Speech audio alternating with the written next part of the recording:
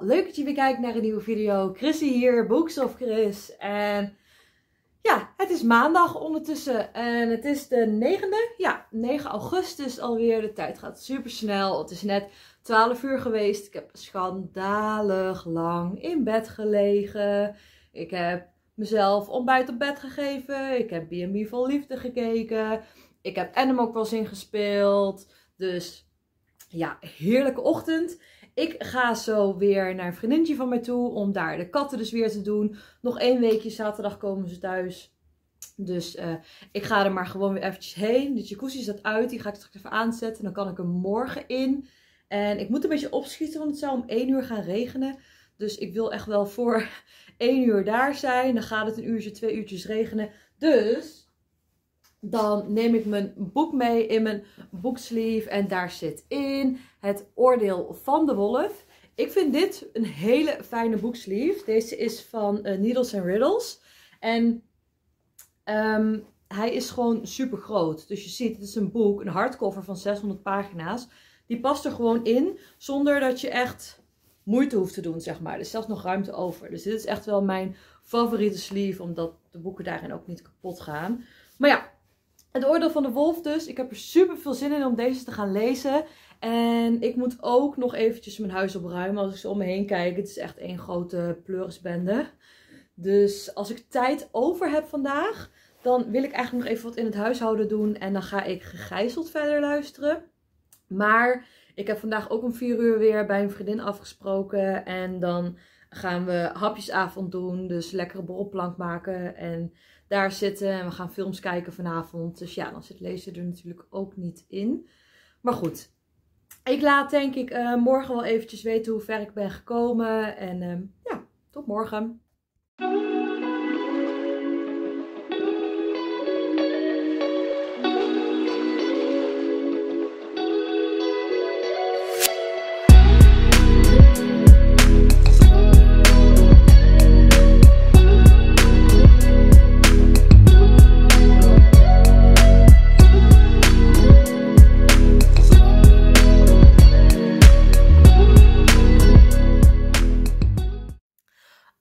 Het is al kwart over drie. Ik was eventjes de tijd vergeten. Ik zat zo in mijn boek en ik moet zo even snel naar huis. Dat wordt dus niet meer mijn huis opruimen en dat wordt uh, geen luisterboek meer luisteren. Want ik moet dus om vier uur weer bij een vriendinnetje zijn. Eerst nog langs huis, spullen terugleggen.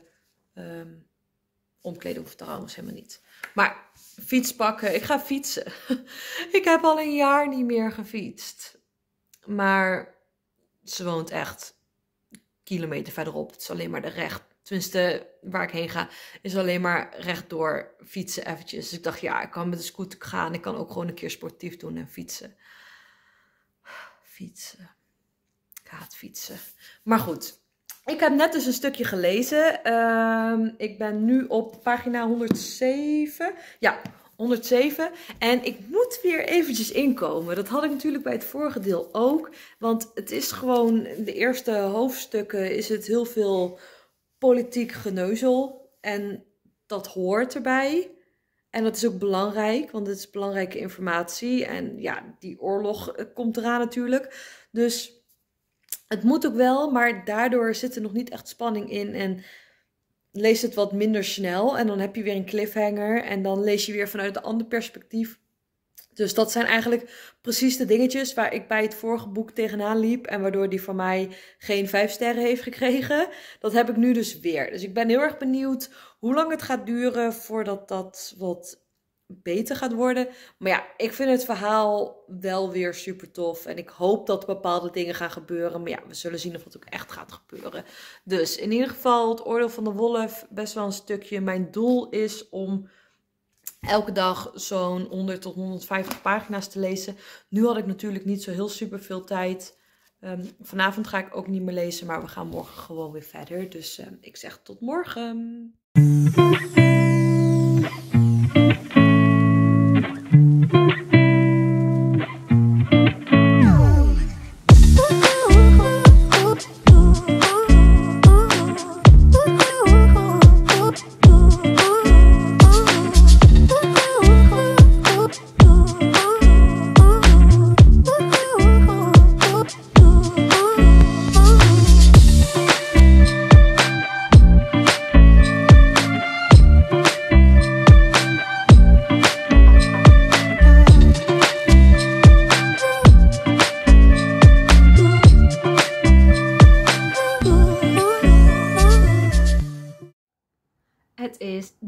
Maandag en ik heb weer een stukje gelezen. Ik heb niet zo'n heel erg groot stuk gelezen in het Oordeel van de Wolf. Ehm, dat kwam omdat ik vanmiddag onverwachts met een vriendinnetje, ik was echt net twee hoofdstukken aan het lezen. En toen heb of ik zin had om even mee te gaan naar de stad, even koffie drinken. En ik dacht, ik ga daarna door naar de katten. Dus dan neem ik wel mijn e-reader mee. In plaats van het dikke boek en daarmee door de stad lopen sjouwen. Dus ik had mijn e-reader meegenomen. En op mijn e-reader was ik nog bezig in Wedden dat ik blijf van Gillian King. En ik hoorde daar al superveel positieve recensies over. Maar ik was zoiets van ja, feel good, feel good vind ik meestal een beetje middelmatig. Omdat er gewoon, het is allemaal hetzelfde. En er zit weinig verrassends in, zeg maar. Oh, lekker die zon. Heerlijk, eindelijk is de zon, eindelijk. Maar ja, daarom ben ik nooit zo van de feelgood. En heb ik zoiets van, ik lees een feelgood dan wel gewoon op mijn e-reader voordat ik ga slapen. Maar wat gebeurt er als ik ga lezen voordat ik ga slapen? Ik val binnen een paar bladzijden in slaap. En dan krijg ik het halve verhaal niet mee. Dus ik zei dat van de week tegen mijn boekstaatbuddy Laura. En toen zei ze, ja, maar dat verhaal is veel te mooi om bij in slaap te vallen. Die moet je gewoon overdag lezen. Dus ik dacht, nou, die ga ik lezen vandaag. Waarom heb ik dit boek niet eerder gelezen? het is echt gewoon zo'n fijn, feel-good boek. Wat gewoon anders is dan anders. Het ehm, gaat over Maddie. En um, toen Maddie 13 was, was haar zus 6 jaar ouder, 19. En haar zus is toen overleden. En zij komt um, het toenmalige vriendje van haar zus, komt tegen. En dat is een hele knappe, aantrekkelijke jongen geworden. Nou ja, ik denk dat dat wel het stukje cliché en voorspelbaar is. Maar eigenlijk doordat zij met hem in contact komt, komt zij erachter dat haar zus niet het perfecte leventje had waarvan zij dacht dat haar zus dat had. En je leest af en toe, um, je leest stukken in toen en nu. Dus ja, je weet niet wanneer toen is, maar in ieder geval toen. En de stukken van toen worden geschreven vanuit um, Elisa en dat is dus die zus. En de stukken van nu worden dus beschreven vanuit Maddie. Dus je leest ook steeds een beetje tussendoor stukken van wat Elisa toen heeft meegemaakt. En Maddie wist dat eigenlijk helemaal niet, dat zij dat had meegemaakt. En ze was altijd heel erg jaloers op de zus. En ze stond echt in de schaduw van de zus. Want haar ouders vonden haar helemaal geweldig. En zij was de lievelingsdochter, zeg maar. En Maddie vonden ze niet zo leuk. Ook wel zuur als kind. Dus ja, tot nu toe, ik vind het echt een heel erg mooi boek. Het leest zo ontzettend vlot. Nou moet ik wel zeggen, ik ben echt de oude oma. ik heb op mijn e-reader de tekstgrootte best wel groot staan. Ik heb de regelafstand best wel ver staan. Dus het boek heeft op mijn e-reader nu meer dan 800 pagina's. Volgens mij is het in het echt ongeveer 300. Dus het valt reuze mee. Maar op mijn e-reader dus 800. En ik ben daar nu rond pagina 200. Dat heb ik net gelezen. Dus uh, ja, ik denk op een kwart ongeveer dat ik nu, uh, nu zit met lezen. En ik wil hem eigenlijk gewoon uitlezen. Dus ik zit even te twijfelen. Want ik ga morgenmiddag eerst weer eventjes naar de katten toe. En daarna wil ik naar mijn ouders gaan om daar te eten. Dus ik denk, ja, dan wil ik ook mijn e-reader meenemen. Maar ja, aan de andere kant, waarom zou ik het boek nu niet gewoon lekker op mijn balkon, kijk eventjes hoe lekker weer het is en de zon schijnt. Ik denk dat ik gewoon lekker op mijn e-reader verder ga lezen op het balkon. En het Oordeel van de Wolf, wacht maar eventjes. Dat is ook een heel leuk boek, maar dat is wat ingewikkelder. En als het gewoon lekker weer is, is het ook wel fijn om gewoon eventjes een simpel boek te lezen. Of tenminste, simpel, het is niet simpel, maar je snapt denk ik wel wat ik bedoel. Dus, dat was mijn dag. Ik heb weer eigenlijk niet gefilmd vandaag verder. Dus alleen deze update. Want ik heb in een jacuzzi gezeten. En ik dacht, ja, ik kan wel weer filmen dat ik in een jacuzzi zit. Maar goed, ik wil jullie ook niet al te jaloers maken daarmee. en toen heb ik daarna pizza besteld. Stond ook niet helemaal op de planning. Maar ik was dus wat later dan gepland. Omdat ik onverwachts naar de stad was gegaan. En ik had al eerder op de reclame gezien dat ze bij Domino's nu dus een frikandelpizza hebben. En echt, ik leef voor frikandellen en ik leef voor pizza. Dus ik dacht, ja, die combinatie die moet ik proberen. En het was lekker.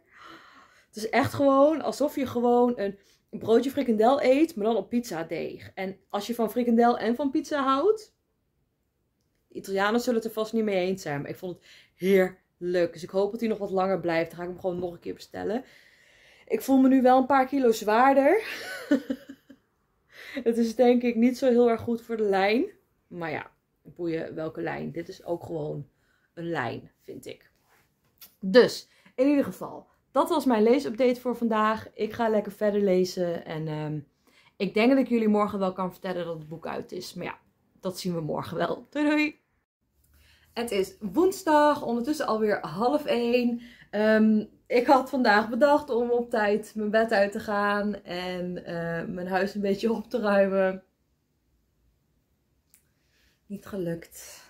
Maar dat was eigenlijk meer de schuld omdat ik pas echt rond twee uur of zo in slaap viel. Want er was een mug en ik ging steeds als een ninja zo die mug proberen te vangen. en daardoor sliep ik slecht en heb ik lang uitgeslapen. Maar goed, in ieder geval, ik ga nu eventjes een beetje mijn huis opruimen. En dan ga ik zo naar de kat toe. En dan ga ik daarna naar mijn ouders toe. En dan gaan we vanavond lekker Chinees eten. Maar ik neem wel mijn e-reader mee. Dan kan ik in ieder geval mijn boek verder lezen. Ehm, ik kwam er dus achter dat ik gisteren had gezegd dat het boek heet Wedden dat ik blijf. Maar dat is niet het boek. Het boek is Ik vergeet je niet. En op een of andere manier, ik haal die boeken de hele tijd door elkaar. Ik heb ze allebei op mijn e-reader staan. Dus misschien dat het daaraan ligt. Maar ja, ik haal ze dus elke keer door elkaar. Maar het boek wat ik nu dus aan het lezen ben, heet Ik vergeet je niet. ik ben ondertussen op de helft alweer. En ik heb nog steeds last van mijn oor. Met poses, zeg maar. Dan weer heel veel, dan, dan valt het mee. En um, ja, ik hoop dat ik hem vandaag eigenlijk wel uit kan lezen. Ik neem hem straks gewoon mee naar de katten toe. En dan, nou ja, als ik daar twee uurtjes ga zitten, dan is hij denk ik wel uit. Um, ik ben, dus ik ga verder luisteren als ik ga schoonmaken eventjes naar Gegijzeld. Ik heb net al een klein beetje geluisterd. Ik vind het tot nu toe echt wel een heel erg tof boek. Er beginnen nu wat dingetjes te gebeuren dat je denkt, wat is hier aan de hand? En wat heeft het allemaal met elkaar te maken? Dus ja, ik ben heel erg benieuwd hoe dat uiteindelijk zal gaan. Tot nu toe ben ik er wel uh, enthousiast over. En ja, ik laat jullie vanmiddag wel weer eventjes weten als ik mijn boek uit heb en wat ik er dan van vond. Dus tot straks.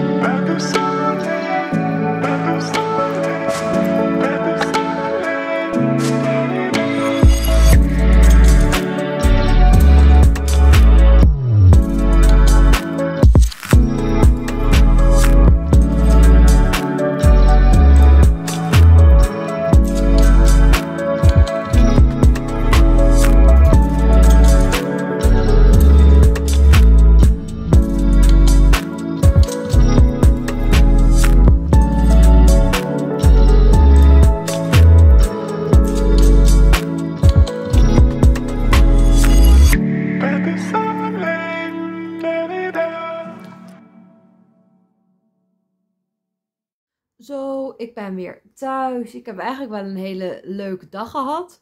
En ook nog wel een goede leesdag gehad. Ik heb namelijk Ik Vergeet Je Niet van Gillian King uitgelezen. Dat boek leest zo vlot weg. Dat is echt, ik heb hem volgens mij nu in twee keer uitgelezen. Heerlijk boek. Het um, heeft op zich wel een redelijk zwaar onderwerp, maar het leest niet heel erg zwaar. Het gaat dus over um, Maddie. En zij was 13 toen haar oudere zus overleed. Haar zus was 7 jaar ouder. En zij had toen een vriendje. En Maddie komt die jongen tegen. En die vindt hem eigenlijk wel heel erg leuk. Maar ja, um, hij had haar zus hard gebroken destijds. Dus ja, wat moet je eigenlijk met zo'n jongen? En gaandeweg komt zij er eigenlijk achter dat haar zus er leven helemaal niet zo perfect was als zij dacht dat het was. Zij was altijd heel erg uh, jaloers op haar zus en ze stond heel erg in de schaduw van haar zus.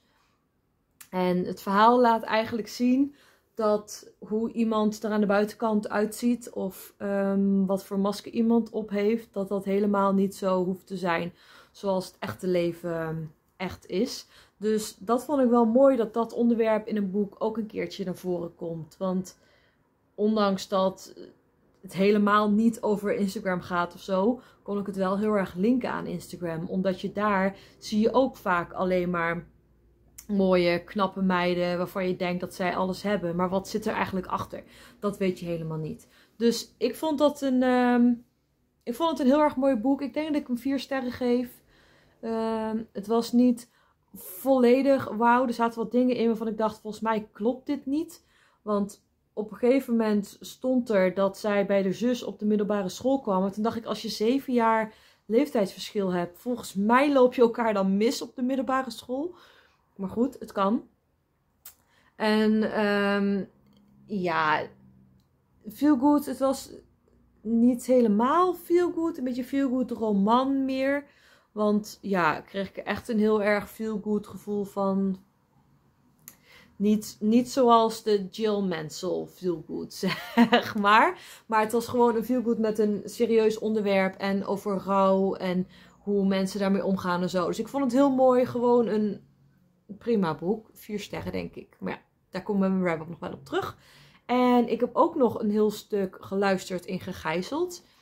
Ik heb namelijk vanmiddag eventjes wat dingen in het huishouden gedaan. Toen heb ik een uurtje geluisterd.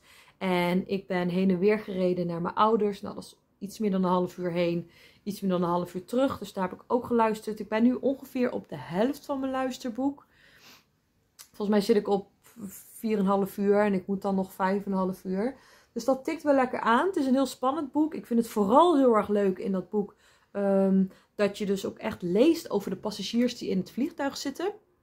En dan ga je een beetje nadenken van, oeh, heeft die er dan wat mee te maken? Of heeft die er dan wat mee te maken? En het is ook wel mooi dat je daardoor echt gewoon meer contact krijgt met de mensen in het vliegtuig. En ja, je hoopt maar dat mensen het gaan overleven in het vliegtuig.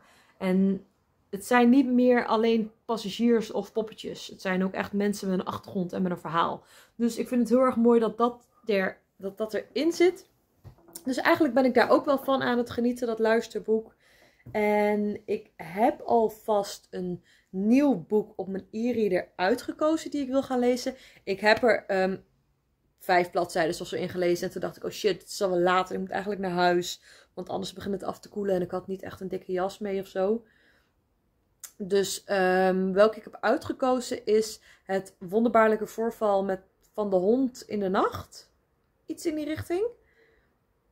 Die stond op Bookchoice en schijnt genomineerd te zijn voor allerlei prijzen. En heeft ook de um, een of andere grote boekprijs ooit gewonnen.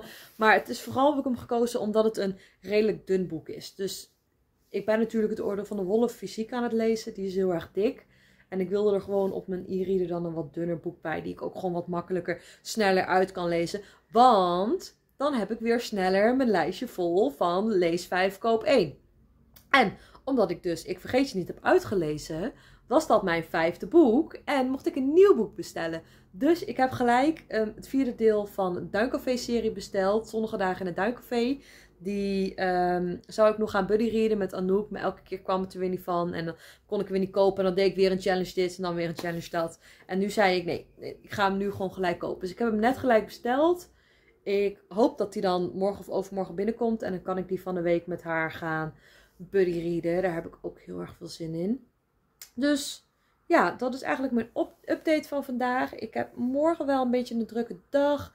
Ik ga eerst met mijn boeksta buddy Pamela gaan we even wat lunchen. En ik heb dus nog de geneesje van Salindorf voor haar. Dus die neem ik dan voor de mee. En daarna ga ik gelijk door met een ander vriendinnetje. En dan gaan we naar de dierentuin hier zo in de buurt. Daar hebben we een abonnement op. Dus ik neem de camera mee. Gaan we lekker foto's maken. En Daarna moet ik dus ook nog naar de katten toe. Dus morgen wordt een ehm, lange drukke dag. Dus ik denk dat morgen lezen er niet echt in gaat zitten. En vrijdag moet ik bij de katten het huis echt eventjes een beetje stofzuigen, netjes maken, opruimen en zo. Want zij komen zaterdag terug en dan wil ik het gewoon zorgen dat het helemaal netjes achtergelaten is. Dus ja, ik ben ondertussen alweer zes minuten aan het praten. Ik ga hem afronden. Ik ga lekker Love Island kijken en... Um, ik spreek jullie gewoon morgen weer. Doei doei!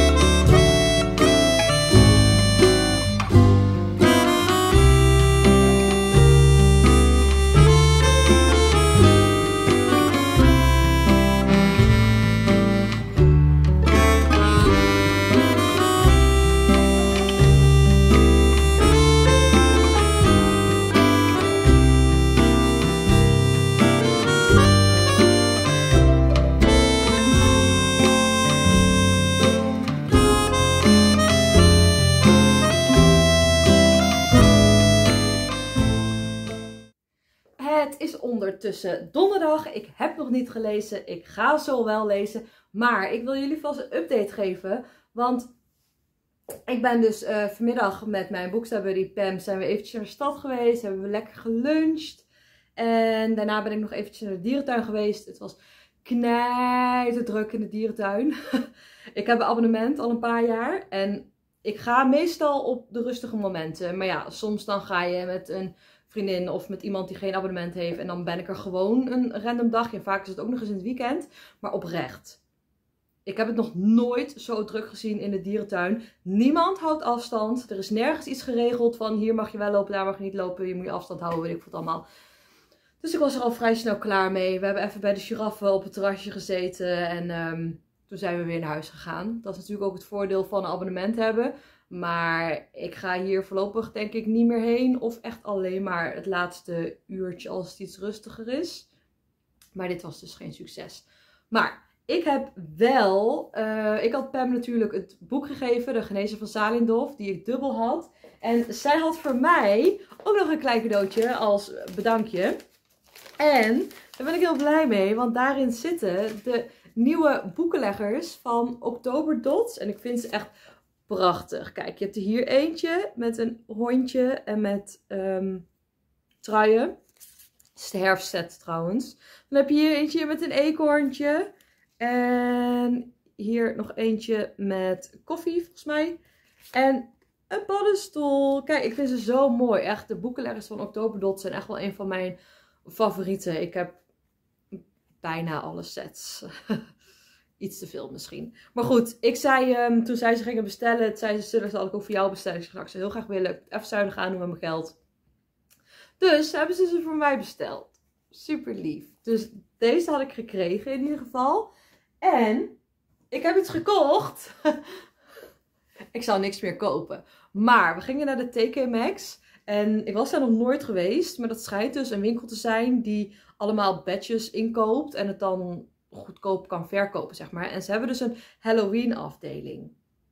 Nu ben ik niet helemaal volledig into Halloween. Ik ga mijn huis echt niet helemaal decoreren. Maar ik zag iets staan en ik dacht, hoe vet is het om dit in je boekenkast te hebben?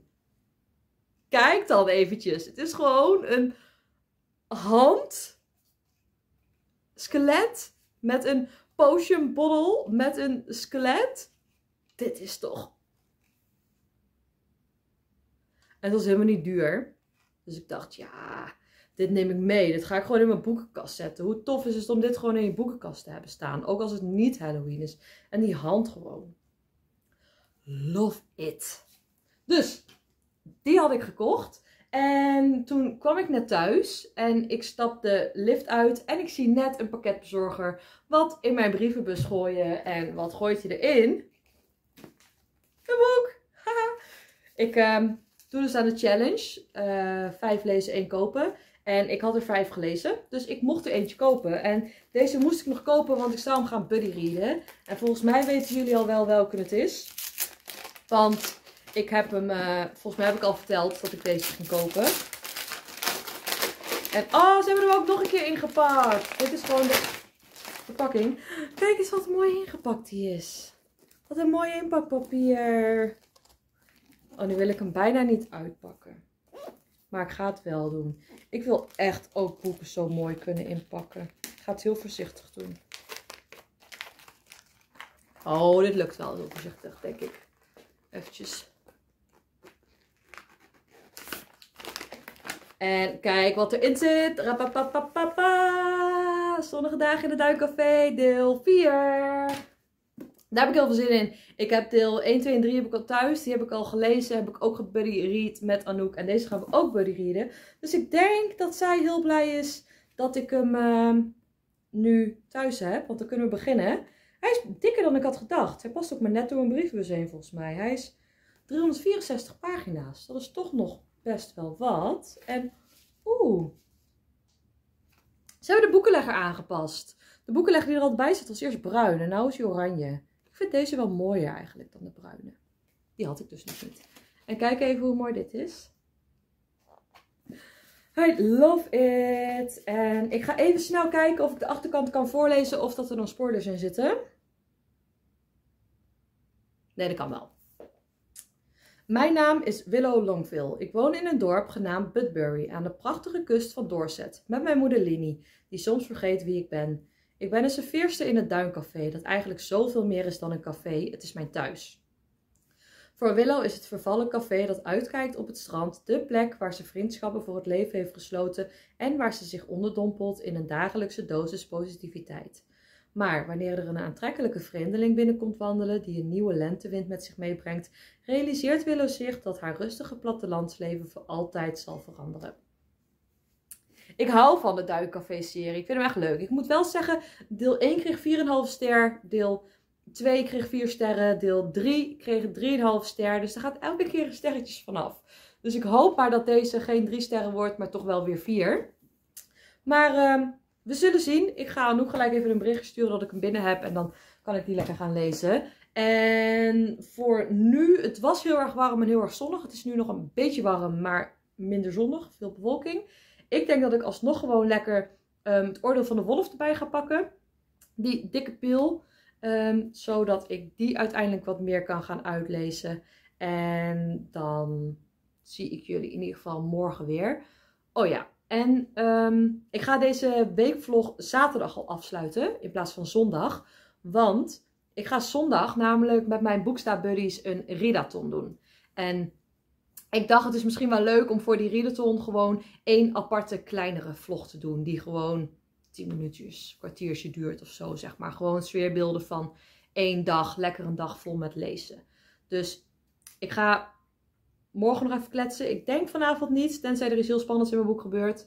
En dan zaterdag nog en dan sluit ik hem zaterdag af. Maar goed, dat komt allemaal wel goed. In ieder geval, tot morgen. Nou, het is ondertussen zaterdagmiddag. Ik ga de vlog afsluiten. En ja, ik heb eigenlijk niet meer zo heel veel gelezen. Ik heb gisteren niet gelezen. Ehm, ik had andere plannen uiteindelijk. Dus toen is er van lezen niks meer terechtgekomen. Eergisteren heb ik ook nauwelijks gelezen.